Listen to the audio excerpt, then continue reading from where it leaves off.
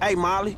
I'm outside the studio. All right. Go over the wall and find the car on the lot. And then what? Only the principal actors and stunt people are authorized to go near it. So, you could get in wardrobe and play the part or try something else. All right. When you're out of there and clear of studio security, call me.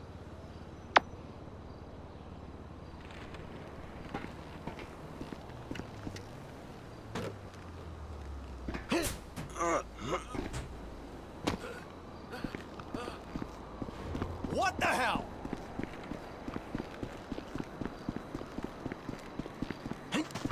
Fruit salad has pineapple in it. I don't know how many times I have to tell you I'm allergic. Do you understand? Do you understand? Now listen to me. Just get the fuck out of here. I'm sick of looking at your face, Tina.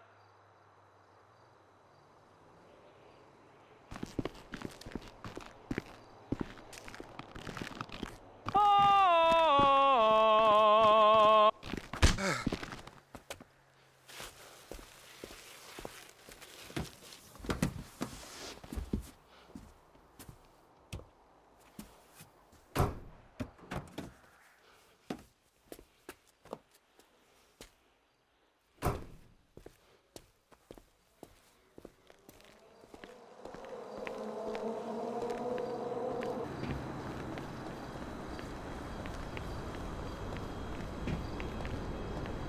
They need you on set.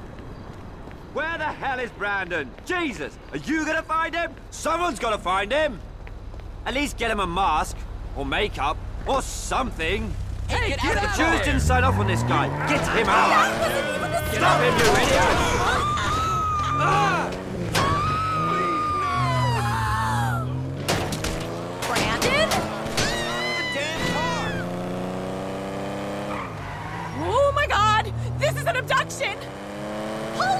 over, creepo! Get off the wheel. I need to get the fuck out of here. Studio security are shutting your ass down, wacko! They ain't gonna be on us for long.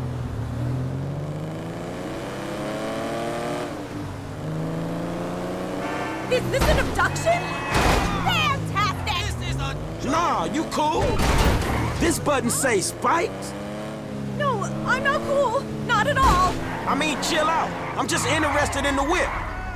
What do you mean, the whip? I could buy this car with what I make in a morning. I think you underestimating the value of this automobile. Or overestimating your own talent. Uh, I think you're underestimating what I get paid. You get paid a couple million for a morning's work? Shit, I should sack my agent. Yeah, Ah! shit. Stockholm Syndrome won't work on me, fuckball! Look, I respect you as an artist and a human being, but I got other priorities. Stop this car now! I've been abducted by a crazed fan! Girl, please. I like some of your work, You dick! but don't get ahead of yourself. Kill him! But don't get too much blood on me, okay? Parents loved you when you were a child? My dad disappeared. My mom was a crackhead. But that ain't what this about.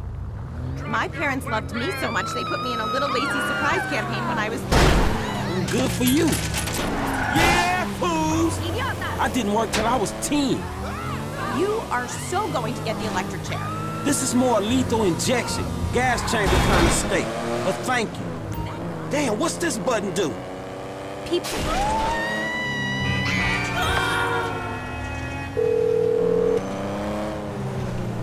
If you have the car, bring it to Hayes Auto in South LS. Mr. Weston is marathon training, but he can reconfigure his route to meet you there. All right, cool. I got the car. No drama. That's good. The studio is enough of a money sink without the costs that that drama can bring. What kind of shape is the car in? We plan on refitting the guns to take live ammunition. Do the traffic spikes and ejector seat need replacing too? Uh, both of those is going to need replacing, all right? Good. One more thing. Mr. Weston's security detail are concerned about a suspicious figure near the garage. Let us know if you see something.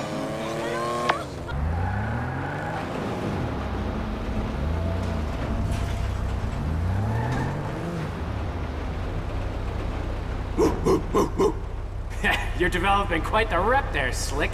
Insurance companies hate these kinds of claims. They don't like cats with the inside edge, shorten them either. So how'd it go? Smooth enough, you know. Movie people. You know what the irony is? I'm a major shareholder in that same studio, so what we just did is practically legal. Ha! Practically. Ooh, shit! Look at this motherfucker. You doing it big, my nigga, on the set.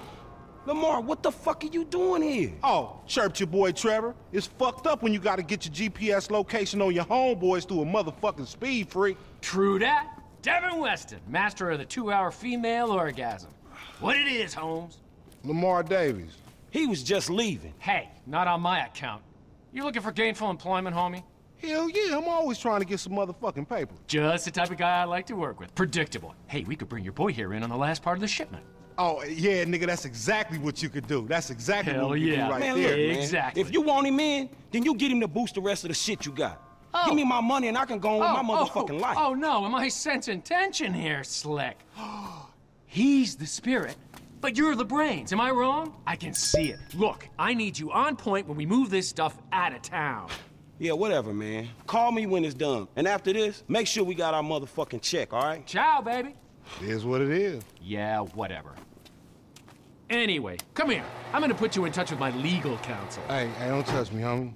I don't get down like that. Yeah, let me tell you how the world works, Slim.